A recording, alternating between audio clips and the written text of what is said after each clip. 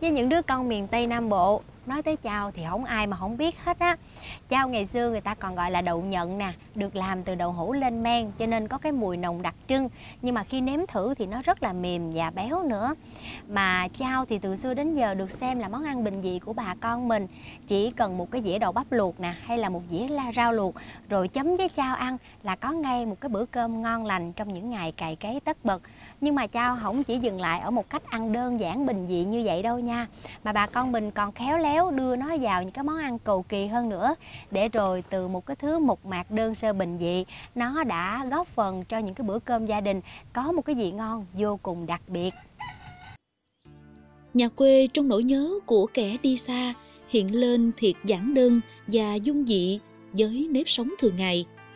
Đó là dáng cha đi thăm ruộng buổi sớm mơi, là dáng mẹ lui cui trong trái bếp nghèo, là mấy đứa em đang hái rau ở góc giường và bữa cơm quê cũng là những gì thân thương và quen thuộc nhất đó có thể là tô canh rau tạp tàn giúp mát lòng mát dạ giữa trời trưa oi nóng, hay là bữa xế chiều đói bụng, mấy đứa nhỏ xúm lại với nhau cại cơm cháy rồi chấm kho quẹt mà nhai ngon lành hoặc nhiều khi chỉ là dĩa rau luộc, cái hột dịch luộc lòng đào mà cả nhà thi nhau gấp để nồi cơm đầy dung cũng hết sạch trong chốc lát. Rồi đơn giản chỉ là hũ chao nhỏ nhỏ với mấy miếng chao được sắc vuông dứt xếp đều trong hũ cũng đủ để làm nên bữa cơm sum họp trong gia đình. Chao cũng có nhiều loại, chao đậu nành, chao muôn, chao tiêu, chao ớt, nhưng hương vị thì chỉ có một. Đó là cái vị béo béo mềm tan đầu lưỡi của miếng đậu được lên men. Là cái mùi hăng nồng ai hỏng quen thì sẽ chê hôi nhưng ai mà thèm thì sẽ biểu là cái mùi chao thơm lắm. Đó là mùi thơm của quê nhà với những món ngon mà mẹ nấu cho ta ăn từ hồi còn nhỏ xíu. Nhớ những bữa việc ruộng đồng gấp rút, không kịp làm đồ ăn, thì bà mẹ quê chỉ cần ra ngoài giường, ngoài rẫy, quơ tay hái nấm rau hay mớ đậu bắp đem luộc lên, rồi múc thêm dĩa chao nữa vậy là đủ ngon lành cho bữa cơm chắc bụng ngày mùa tất bật rồi đó. Vì chứ rau luộc và đặc biệt là đậu bắp luộc rất hợp rơ với chao. Có lẽ vì mấy thứ đó đều là những thứ bình dân và gắn liền với quê hương miền sông nước. Cái tình tếu táo hào sản của người phương nam đã gọi tên cho món ăn bình dân này là ngà voi chấm ốc khỉ. Rau luộc, đậu bắp luộc chấm chao dù là xuất hiện trong hoàn cảnh nào thì trải nghiệm dị giác mà nó đem lại chính là cái ngon lành, béo béo, lại thanh mát tới từ những thứ rau dân dã nhưng khó mà chối từ cho được.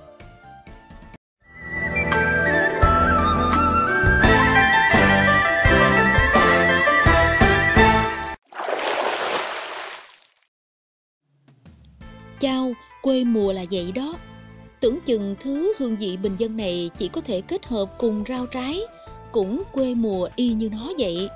Mà chao đã đường hoàng góp mặt trong những món ăn đặc sản, có phần tươm tất, đủ đầy mà bà con thường để dành đãi khách phương xa hay góp mặt trong những hàng quán mang đậm phong vị miền Tây để bất cứ ai hễ ăn là phải nhớ hoài quê hương phương Nam có bạc ngàn ruộng lúa, kinh sông.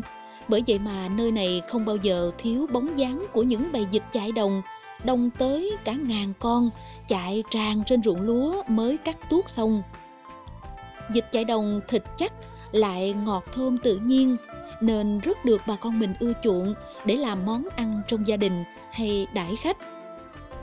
Dịch khìa, dịch kho dịch nấu cháo, bóp gỏi hay dịch nấu chao cũng đều ngon lành cái vị ngon đặc trưng của miền sông nước. Dịch được ướp với chao rồi nấu lên với khoai môn bùi dẻo, ăn chung bún và rau mùng tơi, cải bẹ xanh, rau muống hay kèo nèo, lục bình cũng đều hợp rơ và ngon khó cưỡng lại được. Bởi vậy dù chỉ được nấu bằng dịch quê với chao quê, nhúng cộng rau quê mà ai nấy khi ăn cũng đều tắm tắt khen hoài khen cái vị chao thấm vào từng thớ thịt vịt thấm vào từng cọng rau xanh. Ăn vô vừa béo, lại vừa đậm đà, hớ sảy. Chao đâu chỉ kết hợp chung thịt vịt hay ướp gà nướng mới ngon, mà đem ướp với thịt cá tra phi lê để nấu thành món cá tra nhúng chao. Thì thiệt là nghe tên dù lạ nhưng mà ngon phải nói chứ quên sầu luôn đó à nghe một thứ ra đời từ hột đậu nành trồng trên đất cạn một con dùng dãy dưới nước sông. Vậy mà gặp nhau hữu ý quá chừng, để làm nên món ăn hấp dẫn đi vào lòng người. Để mần món này thì cá tra sẽ được mần sạch cho hết nhớt, sau đó thì phi lê cho khéo, để lấy phần nạc, đem sắc miếng vừa ăn thì ướp chung với gia vị và chao cho thấm nước lèo của món này thì sẽ được nấu từ sả phi vàng với chao, để đảm bảo khi dọn lên là một món ăn có sự kết hợp hài hòa, hoàn hảo giữa mùi thơm và vị ngon đậm đà hấp dẫn. Cá tra nấu chao có thể được ăn ở trên mâm bàn dọn đãi khách phương xa hay dọn lẹ trên ghe để cả nhà cùng quay quần, thiệt là rôm rã và ấm cúng nhiều lắm. Món này chỉ nhúng cá vô nước lèo cho tới khi vừa chín thì gấp ra ăn nóng chung với bún và các loại rau quen thuộc nhưng đặc biệt ấn tượng là nhúng chung bông lục bình để nhai giòn giòn, xốp xốp mà ngọt ngon cái tình sông tình nước tràn chứa từ bao đời Cua Cà Mau từ xưa đến giờ đã nổi tiếng khắp xa gần nhờ vào cái độ là chắc thịt và ngon ngọt tự nhiên của nó. Với con cua chất lượng như vậy đó thì những đầu bếp thường hay chế biến những món như là cua rang me nè, nấu lẩu nè, rồi rang muối hay là đem đi nướng hoặc là làm bất kỳ một cái món gì khác sang trọng để xứng tầm với chất lượng của nó. Vậy cho nên khi mà nghe tới cái món cua Cà Mau mà nấu chao thì chắc nhiều thực khách cũng sẽ cảm thấy ngờ ngợ. Bởi một cái thứ thì quá sang trọng, một thứ lại quá đổi bình thường mà đem đi kết hợp với nhau thì không biết có hợp lý không ha. Quý vị đừng có quá lo lắng bởi có lo cũng bằng thừa thôi. Món cua nấu chao coi vậy chứ ngon hơn tưởng tượng rất là nhiều luôn đó à ngang. Cà Mau là địa danh ở cuối trời tổ quốc với sân chim, rừng ngập mặn, ruộng tôm, bánh tầm cay, ngó bồn bồn và một loại đặc sản trứ danh mọi miền đều biết đó là con cua biển. Cua Cà Mau hợp với thổ nhưỡng của vùng đất xa lơ xa lắc này mà cho thịt chắc ngọt đều trơn, 10 con như một. Vì chứ đi thả lú đặt lọp mà có được mấy con cua bự, lại được bạn hiền ghé thăm thì thiệt hổng gì ngon lành hơn là bài liền ra gốc cây ở mé hông nhà, có hiu hiu gió thổi để đốt lửa chờ than, rồi nướng lên con cua dần chín là chuyển màu đỏ ao và bay mùi thơm ra khắp bến sông, đường ngõ.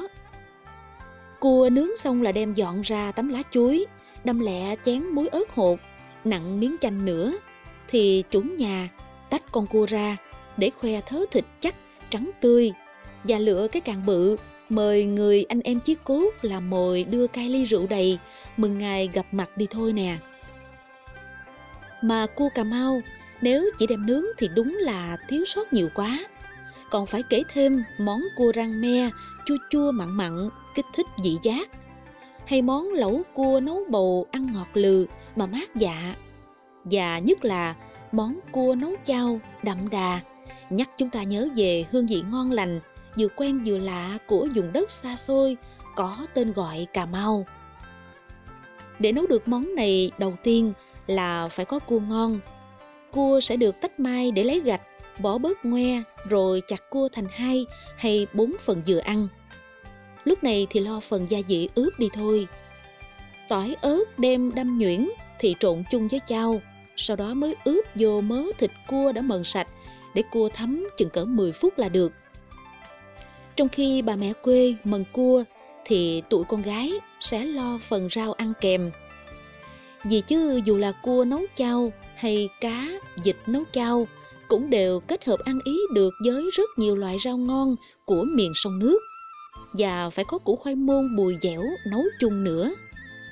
Nếu hợp rơ nhất thì phải có nấm lá rau muôi mọc dại hay mớ bồn bồn trắng giòn đặc sản của Cà Mau. Còn nếu như tại chỗ không có sẵn những thứ đó thì cứ những thứ rau quê như bông bí, rau muống, mùng tơi, bí nụ, tai tượng mà đem ăn chung cũng đều ngon lành chứ không thua chị kém em đâu.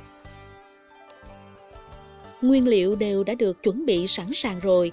Người nội trợ quê sẽ bắt nồi lên bếp, phi tỏi vàng cho thơm thì bỏ cua vô xào. Cua chuyển màu thì đổ nước vô, lại bỏ thêm khoai muôn nữa. Nấu lại cho tới khi sôi, cua chín, khoai dừa mềm thì múc ra nồi lẩu, đơm bún, bài rau, dọn chén và mời khách ăn cơm được rồi đó. Bếp lửa liêu riêu, nồi cua thì đang sôi, gấp rau nhúng vô nồi, gấp thêm đũa bún vô chén, chan miếng nước chao vô thơm lừng, gấp miếng thịt cua màu đỏ ao, thêm mớ rau vừa dịu xuống nữa là bắt đầu thưởng thức thôi nào. Mùi lấu cua nấu chao nó dậy lên, thơm lừng khắp căn bếp nhỏ. Cái mùi thơm vừa quyến rũ lại vừa nồng đượm. Thêm không khí gia đình sum họp lại càng khiến con người ta cảm thấy ấm áp vô cùng. Húp miếng nước đậm đà có vị chao mặn mặn, hòa chung cái ngọt của thịt cua và cái thanh mát của rau. Lại cắn miếng khoai dẻo, nhai cộng rau giòn, rồi nhấm nháp miếng thịt cua nữa, thì đúng là khoái chí tới đã đời. Bẻ cái càng bự, kẹp bể vỏ để khoe ra miếng thịt trắng nõn, săn chắc, rồi đưa lên miệng cắn. Thì chèn ơi, sao nó ngọt quá! Ngọt lừ cái hương vị tự nhiên của quê hương và xen chút mặn mòi của chao hay cái mặn của sông nước gian biển xứ Cà Mau, nhiều thương, nhiều nhớ. Có cái lẩu cua nấu chao nóng hổi cùng mấy thứ rau quê quen thuộc của quê hương miền sông nước thì cho dù là bữa ăn sang trọng nơi hàng quán hay chỉ được dọn lên ở góc bếp nhà quê hoặc manh chiếu trải ngoài giường trên ghe hàng dù ở đâu lúc nào thì cũng đều ngon đều chinh phục vị giác của biết bao người luôn yêu mến ẩm thực đất phương Nam. Con cua Cà Mau có giá trị kinh tế cao và cứ nghĩ nó chỉ hợp với những loại rau cải, nguyên liệu cũng phải mắc tiền. Nhưng không phải, chỉ cần trái bầu non là có món lẩu cua nấu bầu đã ngọt liệm tim người. Cùng với hũ chao mặn mòi thì lại làm nên cái hương vị vừa ngon nức lòng thực khách, lại vừa gần gũi với cuộc sống quê mình. Ở nơi đó có những con sông dài chảy ra biển lớn, có những cánh rừng đước, rừng tràm, có những rặng bần xanh giữ làng, bám đất, có những ruộng bồn bồn ngâm mình trong đầm lầy nước động để đem lại ngọt ngon. Có con cua Cà Mau làm nên danh nên tiếng cho một xứ sở xa xôi, nơi tận cùng bản đồ đất Việt. Chương trình đặc sản miền sông nước vừa mới giới thiệu đến quý vị vị ngon của món cua nấu chao. À, cái món ăn vừa quen vừa lạ, vừa hấp dẫn ngon lành. Mà điều đặc biệt của món này đó chính là sự kết hợp các loại nguyên liệu với nhau. Một thứ thì quá đổi bình dân ở trên bờ, một con thì cao sang ở dưới nước có cơ duyên gặp nhau rồi kết hợp làm nên một cái món ăn có cái hương vị rặt ròi của miền Tây sông nước xứ mình. Ta nói nha, thực khách tứ phương mà có dịp thưởng thức cái món cua nấu chao này rồi thì sẽ không thể nào mà quên được cái nước lẩu cua đậm đà mùi chao, rồi thịt cua thì chắc nịch mà ngọt liệm, lại thêm mấy loại rau nhúng ăn kèm hộp rơ phải biết luôn. Vậy cho nên mới nói nha, nghe tới những cái món ăn lạ lạ như món cua nấu chao này thì thực khách đừng có ngần ngại mà nếm thử bởi biết đâu chừng, từ lạ lại thành quen, ăn riết ghiền hồi nào không có biết luôn đó.